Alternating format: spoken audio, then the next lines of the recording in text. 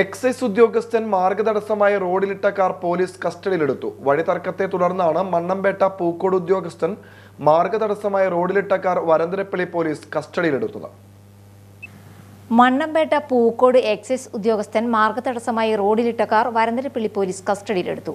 വഴിതർക്കത്തെ തുടർന്നാണ് സംഭവം. ഈ വഴിയിലൂടെ മറ്റൊരു വീട്ടിലേക്ക് കരിങ്കൽ മെറ്റൽ കൊണ്ടുവന്ന പിക്കപ്പ് വാൻ നാൽപ്പത്തി മണിക്കൂറിലേറെ കുടുങ്ങി. രണ്ട് ദിവസത്തിലേറെ വഴി തടഞ്ഞതോടെ നാല് വീടുകളിലേക്കുള്ള വാഹന സഞ്ചാരവും തടസ്സപ്പെട്ടു. പിക്കപ്പ് വാനിന്റെ വഴി തടഞ്ഞിട്ടതോടെ ഡ്രൈവർ പോലീസിൽ പരാതി നൽകി. പിന്നീട് വഴി ഉപയോഗിക്കുന്ന മറ്റുള്ളവരും പരാതിയുമായി എത്തി.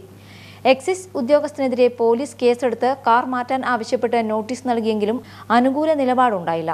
കഴിഞ്ഞ ദിവസം ഇവിടെ പരിക്കേറ്റയാളെ ആശുപത്രിയിലേക്ക് കൊണ്ടുപോകുന്നതിനും ബുദ്ധിമുട്ടായി.